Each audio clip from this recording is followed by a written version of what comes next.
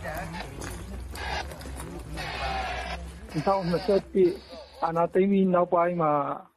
အာဒါစီအရပထမဆုံးခေါင်းကောင်းထိုးပြီးတော့အာဒါဖွင့်ပေးလိုက်တဲ့အဲဒါအောင်မြင်မှုပေါ့အခုဆိုရင်လည်းမျိုးပေါင်း80လောက်ကိုဟောဒါဒီတော်လိုင်းအင်အားစုတွေကတင်ပြီးဖြစ်တယ်အဲအဲ့ဒါကဒီ1027ရဲ့စတင်ပြီးတော့လှုပ်ရှားလိုက်တဲ့အဲအကျိုးဆက်တွေပေါ့ အရင်တော့ကတော့ ဒါမျိုးတစ်ခါမှ မရှိခဲ့ဘူးပေါ့နော် တော်လိုင်းမှာအာမြို့တွေရွာတွေဒီ10နဲ့ ရာနဲ့ရှိပြီး သိမ်းနေဆိုတာ မရှိခဲ့ဘူး ဒါပေမဲ့ချမ်းမြောက်သုံးပေါ်ညောင်သုံးပေါ်ကအာဒါစတင်ပြီးတော့ စစ်ကောင်စီရဲ့ အားနည်းချက်ကိုပေါ့နော်နိုင်ငံရေးရစီးရေးရအလဲထိုးပြီးတော့ဟောဒါသူသူတို့ရဲ့ အခမ်းကဏ္ဍနော်ဒီတော်လိုင်းအင်အားစုတွေရဲ့အဲစီးရေးရအောင်မြင်မှုအလားစိတ်ထူလိုက်တဲ့ သဘောပေါ့ဟောဒါ တသက်နဲ့အဲဒီတကူပေါ့ဒီနိုင်ငံမှာ မဖြစ်ခဲ့ဘူးတဲ့အဲအောင်မြင်မှုပေါ့နော် တော်လိုင်းအင်အားစုတွေရဲ့ အောင်မြင်မှု အဲအဲ့ဒါကြောင့် ဒါက တော်တော့ကိုဟို ဒီနိုင်ငံရဲ့စီးရေး နိုင်ငံရေးအရာအောင်မြင်မှုဖြစ်တဲ့အတွက်နဲ့ စစ်ကောင်စီကလည်းစီးနိုင်ငံရေးအရ ရှုံးနေတဲ့ ပြက်ကွက်တွေဖြစ်တဲ့အတွက်အဲဒါက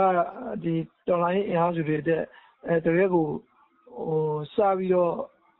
ဖွင့်လိုက်တဲ့ဖွင့်လိုက်တဲ့ဖွင့်ပွဲပေါ့ အဲဒါကြောင့်ပဲဒီလိုဒီနေ့အချိန်ကြီးဒီအောင်မြင်မှုတွေဆက်တိုက်ဆက်တိုက်ရလာခဲ့တယ်။အိုးကဒီရောဟိုတော့ဆရာ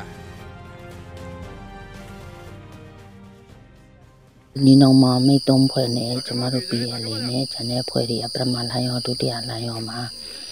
လက်တွဲညီညီတိုက်တဲ့အတွက်ကြောင့်ဟိုအောင်မြင်မှုတွေအကြီးရခဲ့တယ်ပေါ့နော်။တမိုင်းမှာမရရှိခဲ့ဘူးတဲ့အောင်မြင်မှုတွေရခဲ့တယ်။ နောက်ပြီးတော့ဒီစစ်ဆိုတာဘလို့တိုက်ရလဲဘလို့တိုက်ရင်ဘလို့မျိုးရန်သူကိုလဲထုံးနိုင်တယ်ဆိုတဲ့ဟာတွေကိုသူတို့ဖွဲ့တွေကပြသခဲ့တယ်ပေါ့နော်။အဲပြသခဲ့တဲ့အခါကျတော့ကျမတို့အတွက်စစ်ပညာတွေအများကြီးရတယ်စစ်လက်နဲ့အကူအညီတွေလည်းဒီတိုက်ပွဲချိန်မုံရေးတိုက်ပွဲတိုက်တဲ့အခါကျတော့ရန်သူစီကတိမ့်မိတဲ့လက်နဲ့တွေရန်သူလက်နဲ့ကိုလက်နဲ့မဆိုတဲ့ဟာတွေလက်တွေရရှိခဲ့တယ်ပေါ့နော်ရန်သူတို့တကယ်တိုက်နိုင်ရင်တကယ်လက်နဲ့တွေရလာပြီးတော့ငကျင်းစီနဲ့ငကျင်းကြော်တယ်လို့မျိုး ပြန်ကြော်လို့ရတယ်ဆိုတာမြဝါထင်ထင်တွေ့ရတယ်ကျမတို့ဒီတေတုညာနဲ့ခွန်မှာပါတဲ့ရဲဘော်တွေအဖွဲ့တွေအပြင်ဟောကျန်တဲ့ဗမာတပီလုံးမှာရှိရလက်နက်ကိုင်းနေတဲ့အဲ local PDF တွေရောတခြားအဖွဲ့အစည်းတည်တည်ပေါ့နော်အကုန်လုံးကလည်းဒါတွေကိုမြင်ပြီးတော့တခါကျအားအားတက်တေရောတွေဖြစ်လာပြီးတော့နောက်ဟိုရှေ့ရှောင်းမဲ့တိုက်ပွဲတွေကိုအောင်မြင်မြင်ဒီနီးနာတွေကိုယူပြီးတော့အောင်မြင်မြင်တိုင်းနိုင်မယ်လို့အဲ့လိုယုံကြည်ရပေါ့နော်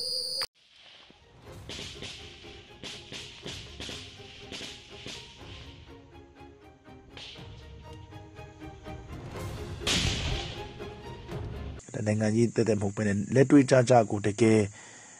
ဟိုဘသူမှမရှင်နိုင်မတိုက်နိုင်မတတ်တာလို့အလျှော်ပေးယုံအစင်ပြေအောင်နေယုံမဲဆိုတဲ့ဒီလက်နဲ့ကင်ကြီးဒီရဲ့မြန်မာနိုင်ငံပြည်တွင်းစစ်